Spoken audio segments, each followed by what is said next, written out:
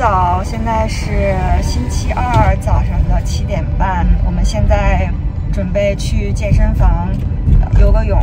我们现在是喜欢早上起来运动，回来之后九点就可以，呃，登录开始在家工作，然后这样就省下白天或者晚上再去健身的时间，就可以留给啊别的时间。好，那我们等会儿游泳池见。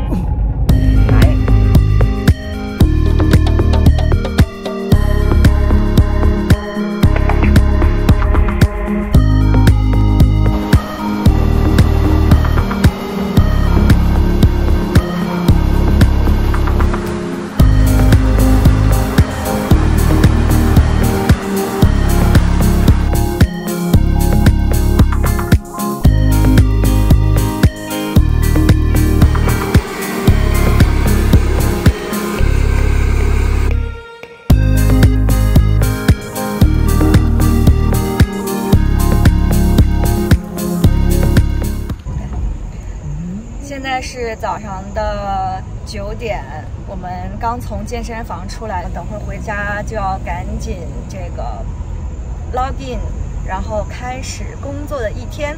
那等会儿我们回家见了。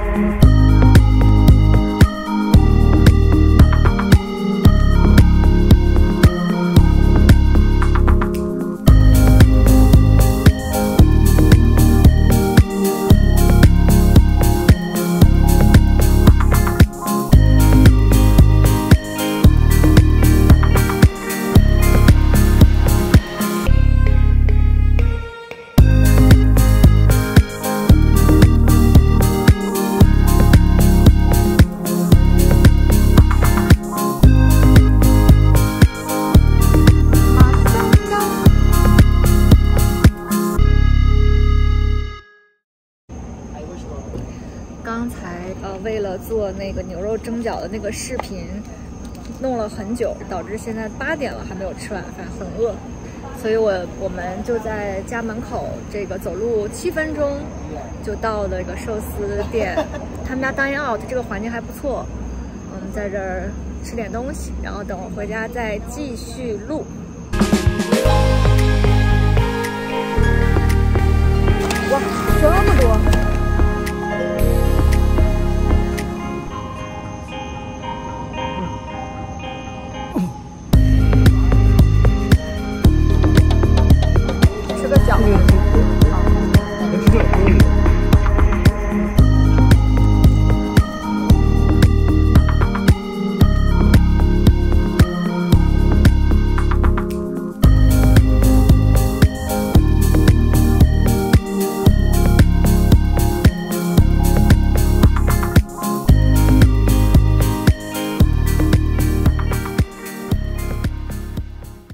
the next day.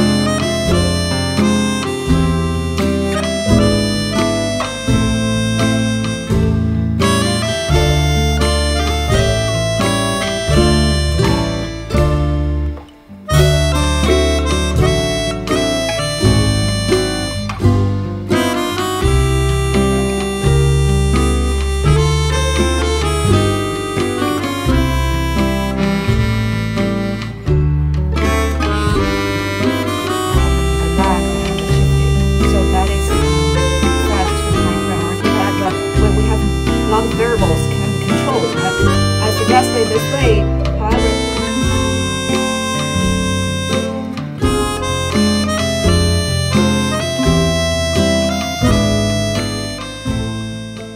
天现在是六点五十一今天真的是超级的超级的忙呃又有工作上的事情然后又有两个呃需要去面试别人的工作。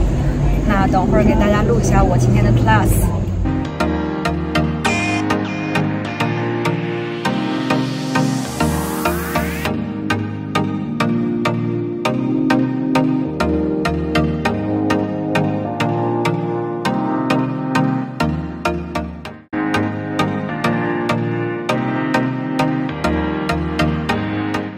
大家看一下我们吃的，我点了一个牡蛎豆腐煲，配的是嗯豆饭、鱿鱼，no，哎呀，鱿鱼石锅拌饭。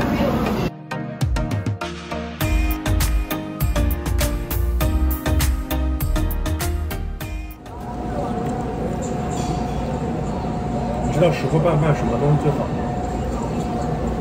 石锅。对。真的是这个锅，这个很宝贝的，看到里面好香哦。因为它能保温。对。我们家能这么做吗？四口锅。啊，可以。三锅菜一锅饭。可以的，他们这个直接应该他们都是直接把这个放到火上去弄去做的。不是，它的原理是，它锅先烫，再放在火上烧热，它把饭打进去，菜盖上，端给你。但是这个这个汤它是直可以直接就放在火上。汤是，这个饭不行，饭不糊了吗？终于有的这块可以放到上面去。A few moments later.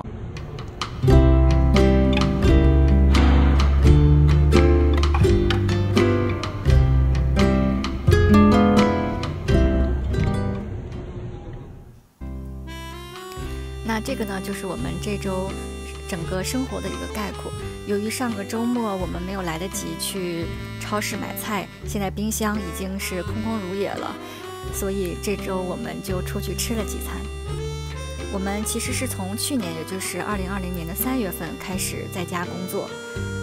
那最开始的时候是觉得异常的兴奋，尤其是在全程管禁之后，感觉突然多出了很多时间。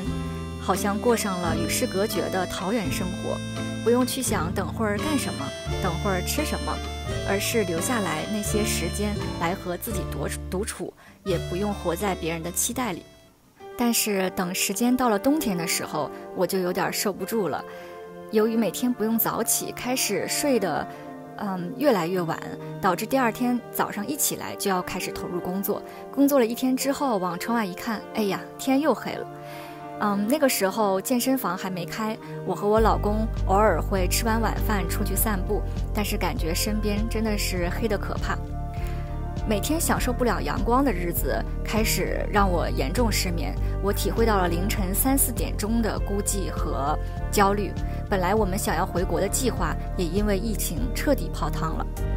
我们不敢抱有什么期待，因为对自己没有办法掌控的事情抱有期待，只会让自己更加的失望。有一次，我老公的抱怨彻底改变了我的作息。他是一个早起的人，他和我说，由于我们两个作息的不同，会导致他每天早上有两三个小时是自己漫无目的的一个人度过的。于是我下定决心改变我的作息。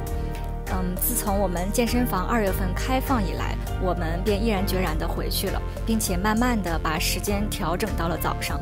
开始恢复健身之后，感觉我的睡眠也慢慢地开始改善，可以一觉睡到天亮了。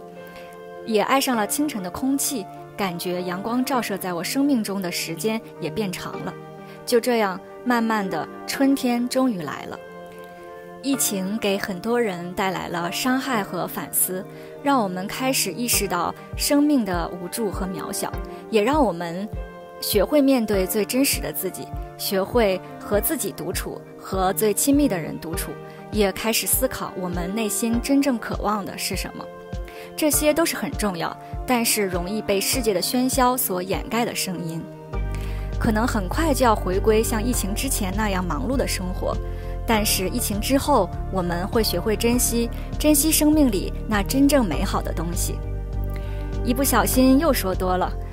嗯，不过这就是我们在疫情当中的嗯普通的一周。如果大家喜欢我或者我的视频，请记得关注我。我是生活在长岛的女博士。那我们下次见，晚安了。